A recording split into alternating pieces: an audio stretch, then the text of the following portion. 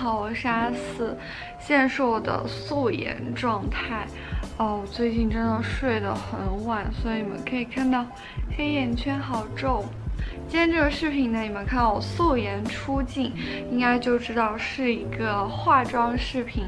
就是一会儿，因为我要出个门，所以就想来随便画一个日常妆。现在这个背景呢，就是我新搬的房子，就是这样子一个。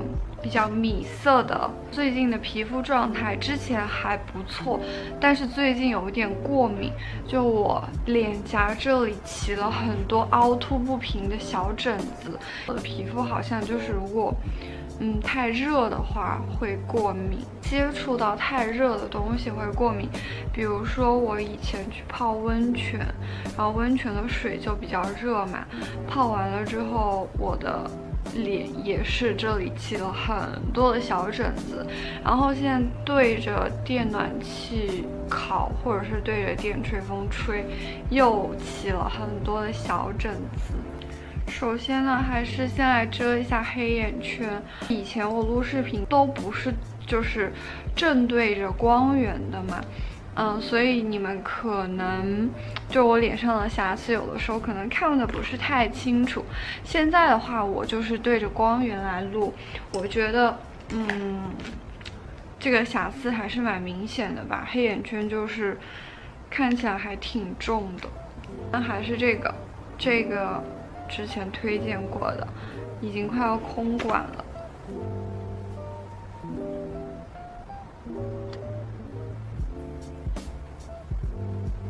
然后下面一步拿来上底妆，底妆的话，我用的是最近开始用的一个新的，呃，产品是兰蔻的这个新版的精纯气垫。改版之后呢，这种方形的包装看起来会更加有质感。更贵气的感觉有没有？就跟其他那种圆形气垫区别开了。这个气垫呢，它是一个比较滋润的质地。其实我呢是比较偏干性的皮肤，像现在秋冬季节来用的话，它的滋润度就很够，出来的妆效呢也是比较有光泽感的那种，也不太会有那种干燥起皮的现象。它我觉得是在比较滋润的基础上，又算遮瑕力，嗯，比较好的那一种。这边脸我先涂一下，因为这个地方是有一个凸起的，所以它没有办法完全遮住。如果你在上妆的时候觉得遮瑕力不太够的话，注意一定要这样子少量多次去叠加，这样出来的妆感呢才不会那么的厚重，然后也会更加的贴。它这个粉扑依旧是这种水滴型的。嗯，设计特别好，你照顾到鼻翼啊，还有，呃，像我的这个眼睑这种角落。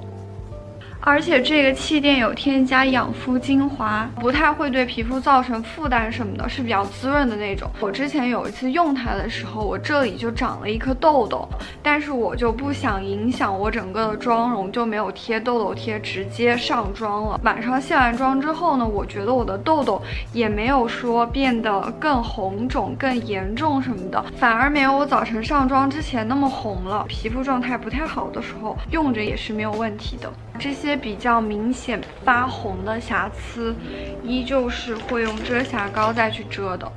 像粉底液呢，我觉得它有一个呃比较不错的均匀肤色效果和一个呃中等的遮瑕度就可以了。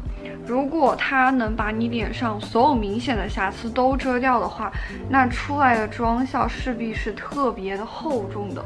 我不是很喜欢那种粉底液，这个遮瑕是上一支爱用品跟你们提到的这个 CT 的，虽然不太喜欢它的包装，但是我觉得它的遮瑕力，呃和效果确实还不错。底妆差不多就算完成了，给你们近看一下这个妆效。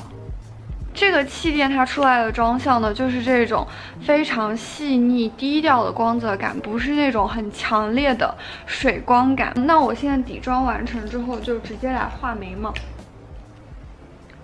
眉笔还是万年不变的这个 Bobbi Brown，这是我的第四支了，应该。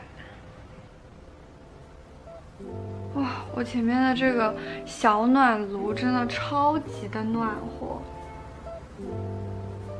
对了，我最近有在看一部电视剧，叫做《庆余年》，你们有看吗？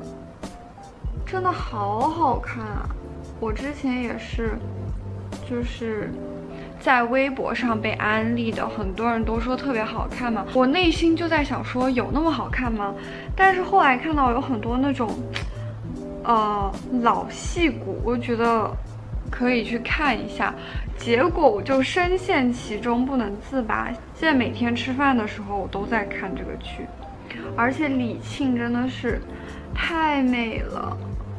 以前我没有觉得说她特别的有那种少女感，但是在这部剧里，她真的好漂亮，超级的可爱。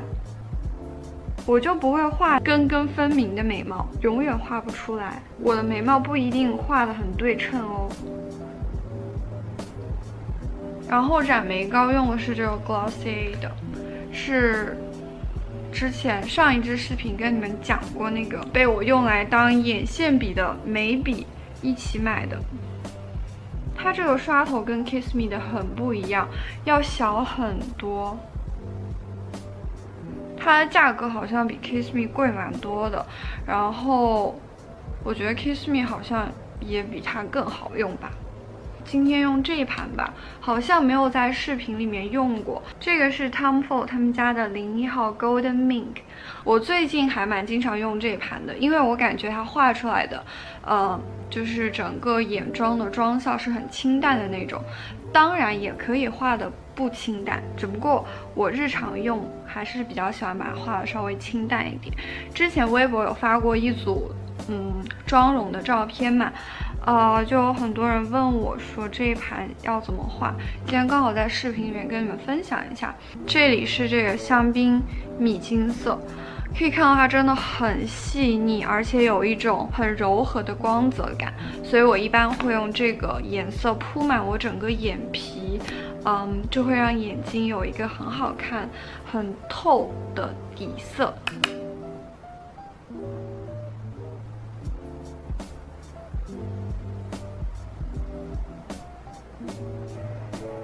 然后再拿一把小一点的刷子，这样子。扫一下下眼影，然后还是拿这把小一点的眼影刷蘸取这个深棕色，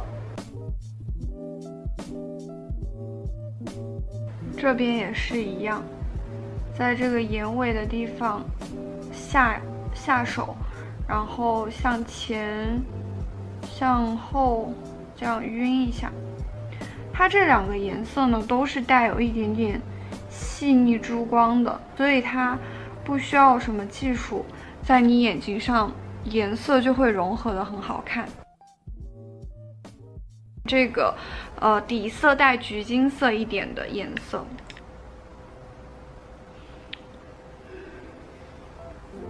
好，差不多就是这样。睫毛夹我最近反正一直用的都是这个玛丽安的。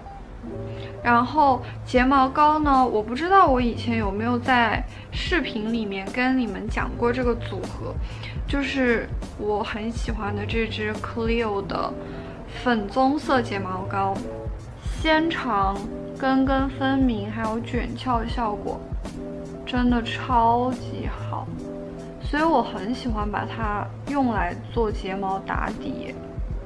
但这支睫毛膏一直没有。被太多的人发现，就我一直都在推荐它，但是我的力量毕竟还是很弱小。你们可以看到它的效果真的非常好。然后会用这个一零二八的睫毛膏再刷上一层。我刚买来的时候它是比较湿润的膏体，但现在因为用的时间太久了，所以它的膏体就比较干一点。为何觉得我今天的？眼袋这么重啊，是不是因为对着光，所以整个缺点都被无限的暴露？眼线用的就是上支爱用品里跟你们讲过的这个被我拿来当眼线液笔的眉笔。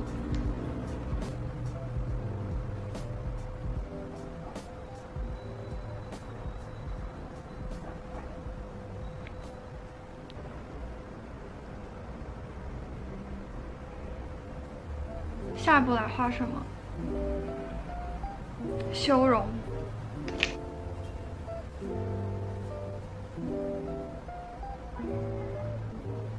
我每次打修容是从来不会手下留情的，因为我的脸就是很圆的那种。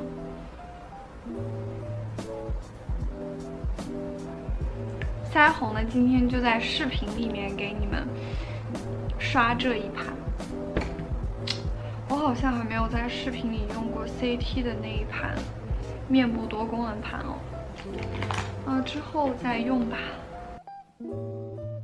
我比较习惯扫在颧骨和眼下这个部位，因为我个人颧骨比较高，所以我每次刷腮红呢，也希望腮红有稍微帮我修饰一下脸型的效果。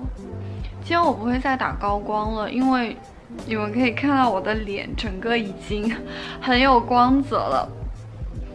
那今天涂什么口红呢？还没有想好。我刚才去找到一支口红，好像这一支是我录双十一视频的时候涂的那支，很淡的裸杏色。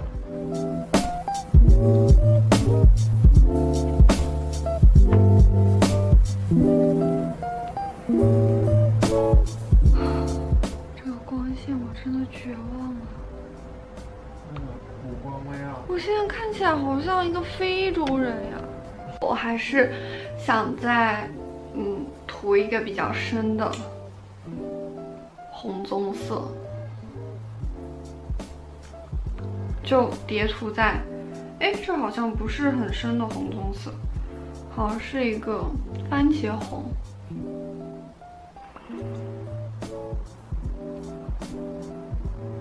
我今天不用定妆粉，直接喷这个定妆喷雾，因为我比较喜欢我今天底妆的光泽。